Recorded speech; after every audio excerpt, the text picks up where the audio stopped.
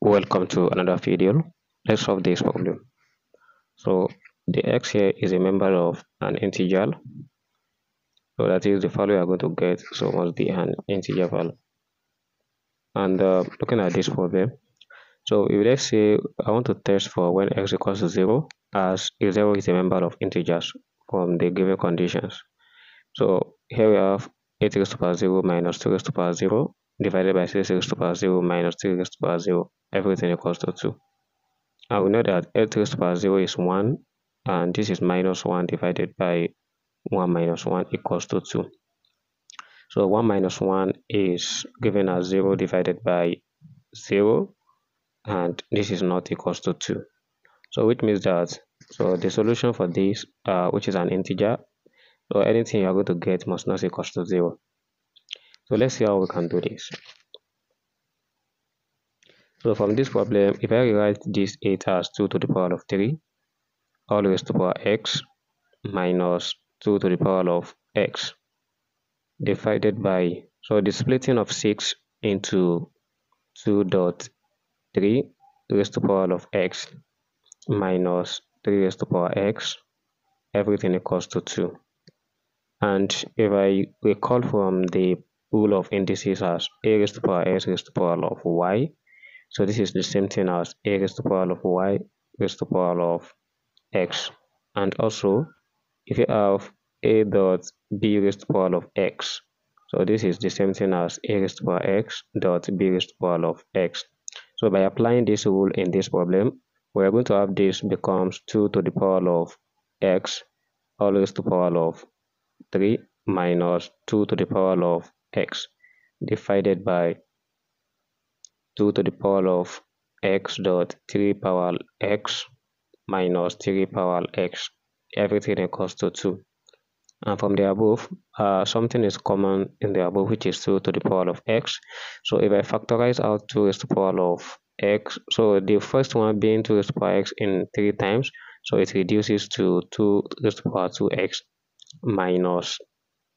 So this is 1 all divided by 3 to the power of x is common at the denominator so by taking it out we have bracket 2 to the power of x minus 1 and everything equals to 2 so at this problem what i want to do is i want to make sure that 2 to the power x minus 1 cancel above and what to do is so I try to apply the same rule of indices as I did above. So this is 2 raised to power x raised to power 2 and this one is 1 raised to power 2.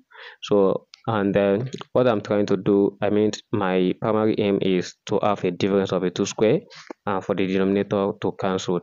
And we know uh, the above as uh, resemble difference of a 2 square and which that one can be written as if this is 2 raised to power x at the one at the outside so why the inside becomes 2 raised to power x minus 1 bracket and this is 2 raised to power of x plus 2 so that's my primary aim of doing that so why we still have this is 3 raised to power x bracket 2 to the power of x minus 1 bracket everything equals to 2 so looking at this we can make sure that 2 raised to the power of x minus 1 cancel from the above and below. And hereby we have 3 raised to uh 2 raised to power x bracket 2 raised to power of x plus 1 so which is left. Then divided by 3 raised to the power of uh, x everything equals to 2 so if i try to cross multiply i mean if i take 3 raised to power of x multiplying 2 so we are going to have this as 2 raised to power of x bracket 2 raised to power x plus 1 this equals to 2 raised to power uh, 2 dot 3 raised to power of x. And from here uh, what I want to do is I want to make sure that I have just only 3 raised to power of x at the right hand side. So just to make sure that only uh, where we have 2 remains at the left hand side. So by dividing both sides by 2 here we are going to have this uh, one which is 2 raised to the power of x divided by 2 so by applying the rule of indices so this becomes 2 raised to the power x minus 1 bracket 2 raised to the power of x uh, plus 1 everything equals to 3 raised to the power of x.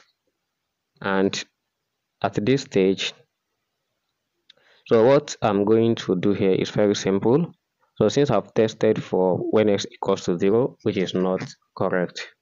So here, I'm still going to test for, suppose I assume that my x is greater than or equals to 2.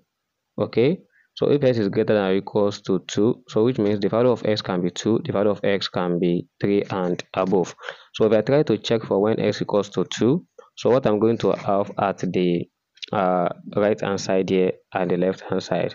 So this will keep becoming odd number for any value of this plugin and for 2 raised to the power of x minus 1 only so this will always be even. So while for this one will always be odd. So and if you try to multiply even number and uh, odd number together here so we always have even number which means for x greater than or equals to 2 so by trying to keep iterating this value so as in by trying to substitute this value the left hand side will not equals to the right hand side. Because at the left hand side we have even number always and the right hand side we have odd number always. So which means x greater than or equals to 2 can never be the problem uh the solution rather.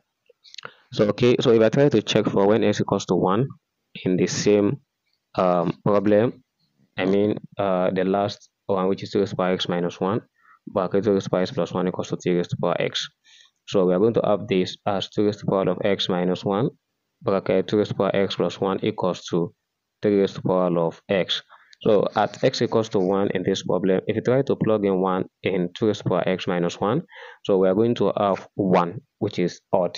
And if you try to plug in 1 in the bracket, we're still going to have odd number here. So while for the right hand side, still going to have odd number. So as it is, so we have this as odd, this is also odd, and the right hand side is also odd number. So i know if you try to multiply odd by odd so we're going to get odd and why this is still odd number? So which means that odd equals to odd as s equals to 1 so which means s equals to 1 satisfy this problem. All right? So uh, let's check again. If x less than 0 so if x less than 0 that is x equals to minus n. Okay? So and where this n is always greater than zero that is uh, the n will always take positive number. So as we have defined above that x less than zero. So if i try to replace x with minus n then we have 2 raised to power minus n minus 1 bracket 2 raised to power of minus n plus 1 equals to 3 raised to the power of n and by applying some basic rules of indices we have this as 1 divided by 2 raised power n plus 1 bracket. So this is 1 divided by 2 raised power n. So plus 1 everything equals to 1 divided by 3 raised power n. So the reason i'm checking this is just to generalize everything. Okay? So here we have um 1 divided by 2 raised power of n plus 1 bracket. So why this becomes 1 plus 2 raised to power of n divided by 2 raised to the power of n bracket equals to 1 divided by 2 3 raised to power n so here, if I try to multiply above, as in 1 multiplied by 1 plus 2 raised to the power of n, we are going to have 1 plus 2 raised to the power of n divided by, and uh, if you try to multiply the denominator together, so we have common base, we are going to take 2 and we add the power together, which is 2n plus 1. Everything equals to 1 divided by 3 raised to power of n. And if I cross multiply, so we are going to have 3 raised to power n bracket 1 plus 2 raised to power of n so everything equals to 2 raised to power of n uh, to n plus 1. So uh, this formula I just got now, or let's say this expression. So if you try to keep plugging in the value of x when less than 0, or let me just say I try to plug in the value of when n equals to 1 to check first if uh, these two uh, these two sides are going to be equal. Definitely they are going to be equal at x equals to uh, at n equals to 1 all right so which means that all this will be odd. So the inner one will always be odd. So why the uh, the right hand side will always be odd? So which means one will only be the value that satisfy this problem while other value do not satisfy it. And this is how to solve this problem. And thanks for watching. And don't forget to subscribe to this channel. Never stop learning. Bye bye